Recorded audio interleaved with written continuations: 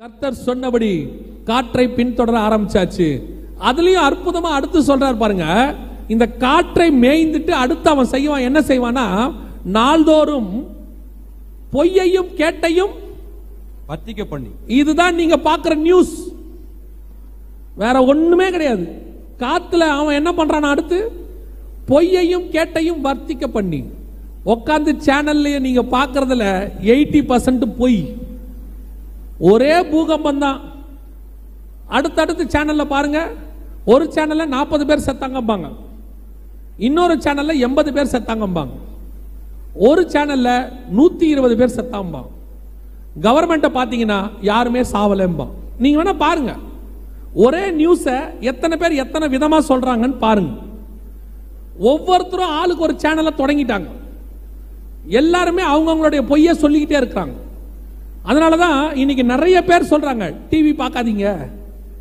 டிவியில் வரதுல பாதி என்னவா இருக்கு? பொய். கேட்டை வர்த்திக்க பண்ணி. எது கேடு? நீங்க பார்க்குற சினிமாவும் சீரியலும். அதை மாதிரி கேடு உலகத்தில் வேற ஒன்றுமே கிடையாது.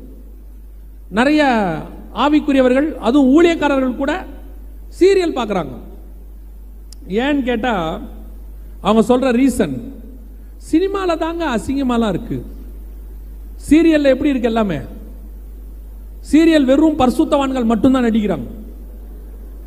சீரியல் ஓபன் பண்ணும்போதே கர்த்தாவே உமக்கு சித்தமானால் இன்னைக்கு அவர்களுக்குள் திருமணம் நடந்து விடட்டும். முடியும் போது என் ஆத்மாவே கத்தரை ஸ்தோத்தரை அப்படியா நடக்குது?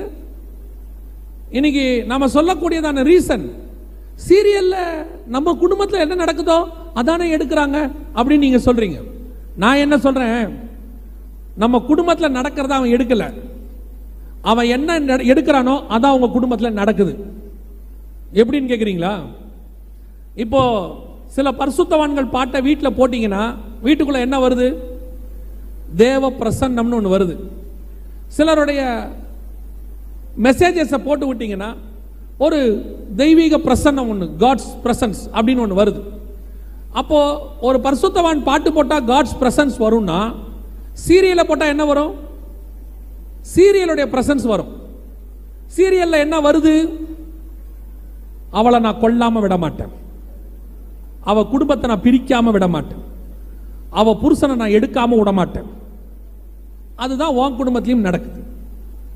நீங்க என்ன சொல்றீங்க? பாஸ்டர் கிட்ட வந்து தசமாக காணிக்கெல்லாம் கரெக்டாக தான் கொடுக்குறோம். ஆனா எங்க குடும்பத்துல எப்ப பார்த்தாலும் சண்டையா இருக்க என்ன காரணம்? சீரியல்ல சண்டை போடுறான் நீயும் போடுற. அவ்வளவுதான்.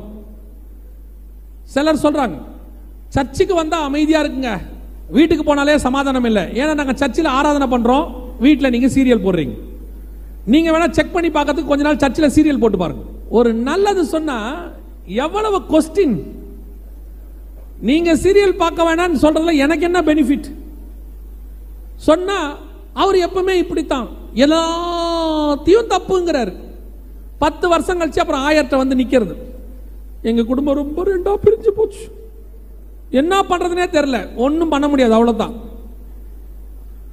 இப்பவே இந்த பொய்யையும் கேட்டையும் வர்த்திக பண்ணிக்கிற the most idiot box in the world அந்த குப்பை தொட்டியை தூக்கி வெளியே போட்டுருங்க. உங்க குடும்பமே நல்லா ஆயிடும் ஏன் தெரியுமா? கணவரும் பிள்ளையும் ஸ்கூலுக்கு போன உடனே ஒ- ஏழரை மணி எட்டரை மணி ஒன்பதுக்குலாம் போட்டுறிய மூன்றரை மணி வரைக்கும் ஓடுது. மூன்றரை மணிக்கு அவன் வரான் ஸ்கூல்ல இருந்து. அவன் உட்காந்து கார்ட்டூன் பார்க்குறான். அதில் என்ன வருது? அவனை கொல்லு. இவனை சுடு. அங்கே ஒருத்தன் மறைஞ்சிருக்கான் பாரு அவனை சுடு. இவனை வன்முறையால தான் மாத்திக்கிட்டு இருக்கான். இது ஏழரை மணி வரைக்கும் போகுது. ஏழரை மணிக்கு அவர் வராரு. அவர் வந்து என்ன பார்க்குறாரு? WWF தூக்கி போட்டு மீதி. அவனை குத்து. அப்புறம் குடும்பம் எப்படி உருப்படும்? வீட்டுக்குள்ள எப்ப பார்த்தாலும் இதே தான் இருக்கு. ஒன்னு குடும்ப சண்டை இல்ல வீடியோ கேம் சண்டை இல்லைன்னா WWF சண்டை. ஏதோ ஒன்று நடந்துகிட்டே இருக்கு வீட்டில் அப்புறம் பாஸ்டர் வரும்போது மட்டும் சொல்றீங்க எங்க வீட்டில் சண்டை நடந்துகிட்டே இருக்கு. நடந்துகிட்டே தான் இருக்கும். மாறாது.